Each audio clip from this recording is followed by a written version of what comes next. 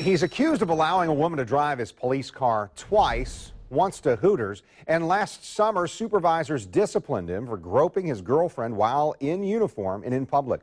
Now the sister of this Jacksonville sheriff's officer is defending her brother, saying there's more to the story.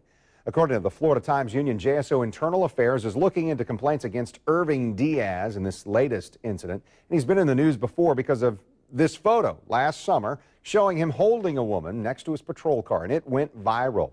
Channel 4's Kumasi Aaron has more with the officer's sister. Months after this image surfaced of Officer Irving Diaz in uniform embracing with his girlfriend, he's facing another issue involving a woman driving his patrol car. We went on a date on, made a bad decision, let her drive his car. Irving Diaz's sister didn't want to show her face, but wanted to defend her brother. She says even though his decision wasn't a good one, something Diaz admitted to investigators, she says there is more behind the story. According to the Florida Times Union, the Jacksonville Sheriff's Office Internal Affairs Unit received received two complaints in October. The first was from a man married to Diaz's ex-wife who was dropping off Diaz's kids for a visit.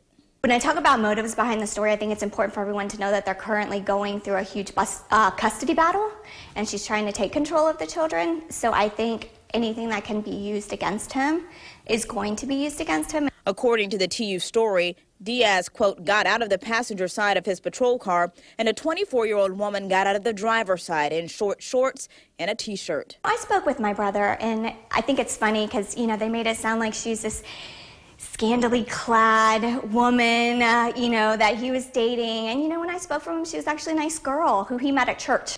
A second complaint came from another man who saw her dressed the same, driving the patrol car to the Hooters on San Jose. It's unclear if it's the same woman in both incidents or if the woman worked at Hooters. The TU said the investigation also found that Diaz searched the police database to check for warrants on the woman. I think as a single father and I was dating somebody and I had children that I was bringing around someone, I would want to look at that information as well, just to see who he's bringing around. A sister speaking out as her brother faces charges, two counts of conduct unbecoming of an officer and improper use of computer software. In Jacksonville, Kumasi Aaron, Channel 4, the local station.